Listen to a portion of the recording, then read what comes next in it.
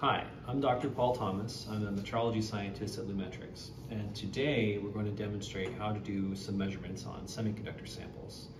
I have a bare silicon wafer, and then I have another sample that has a bonded material to it. So you would start by taking your sample and loading it into whatever your measurement array or apparatus is. And for this system, it's a demonstration system. We're already set up to just load whatever sample. It's a flat surface, but you may have a vacuum chuck or something else that you would use to help restrain your sample. And already you can see um, the reflection off the top surface and then the reflection off the back surface of the silicon.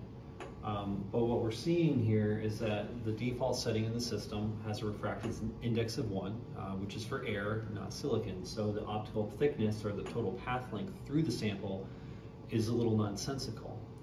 And so the way you would adjust this is you go in and you tell it what the refractive index is. So in this case, we're uh, silicon at a telecom wavelengths so we're about 3.53 uh, for the refractive index. And then you can see that now the uh, software then goes and calculates what your total material thickness is. And for a six inch wafer or a 150 millimeter wafer like we have demonstrated here, you can actually see that the total material thickness is uh, about 675 microns, uh, which uh, it, per the standard specifications, usually going to be 675 plus or minus a few microns. So this is a really good example of determining how thick your wafer is. Um, now, with multiple probes or additional setups, you could also use this system to determine wafer bow uh, or other parameters, uh, what that you're curious about with your starting wafer stock. Our uh, next sample is a piece of silicon or a 8-inch uh, silicon wafer that has a piece of uh, bonded glass on top of it. And uh, one thing we can do with our system is actually determine you know, how thick these bond defects are. So if you're to take a look at the sample, you can see for the most part, there's no, no bubbles in there, but there's some definitely clear bond defects that are on the sample. And so what we should be able to determine with the uh, OptiGauge system is how tall those bond voids are, and then also what the total thickness of the silicon plus the, the oxide material on top is. So when we've placed the new sample on the test apparatus and we can already see that there's multiple peaks, uh, which tells us that there are multiple films uh, present. So what you would do in this case is there's multiple layers, so you need to increase the number of layers.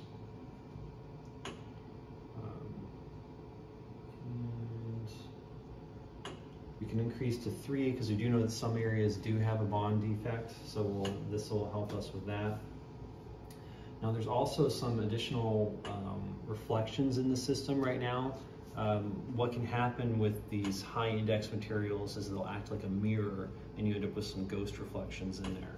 Uh, it's really particular to, to those high index low index uh, multiple film stacks, but with a, an appropriate amount of engineering optimization, you can often ferret those out and determine what they are.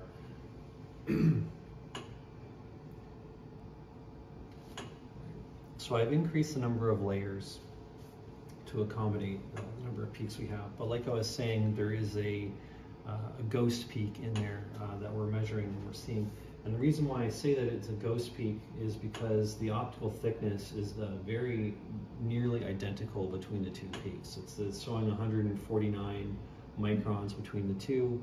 Um, unless you design something to be exactly the same, you're really not going to see that. It's kind of a, a, an odd occurrence. And so oftentimes that's what you would use to determine whether or not it was a ghost peak or not if you're seeing multiple repeat measurements of the same thickness. Okay. An additional feature of the OptiGauge system is that there is a targeting light uh, in a red from a red laser source that can show you roughly where you're targeting.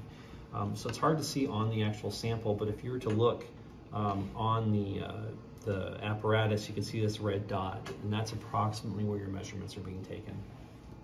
So now we're going to use that red dot as a guide over on the sample where our little bond void is. And we see that there's some additional reflections going on, so now I need to do additional adjustments to determine where the backside silicon surface is plus that void uh, area.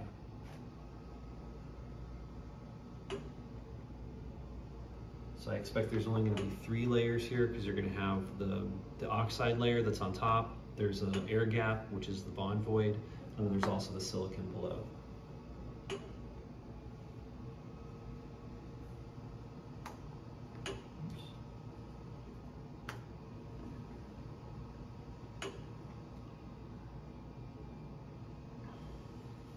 And I'm readjusting my indices of refraction.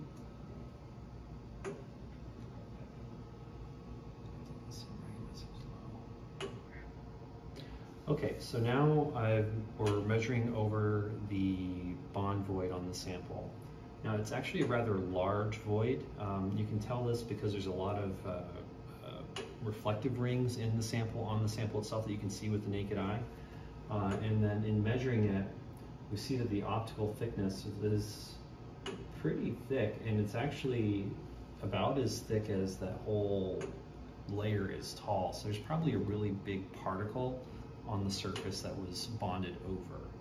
And um, so what we're seeing is like about 150 micron particle or something in there that's separating that surface from the other. And it's a rather large area void, so it's um, not unreasonable that the sample will be able to withstand that amount of deflection. And then again, we're measuring all the way through the sample. We're measuring through the glass on top. We're measuring through that gap, uh, uh, that bond void gap, and then we're measuring through the silicon sample. And so we're seeing about a millimeter total thickness uh, for everything all together there.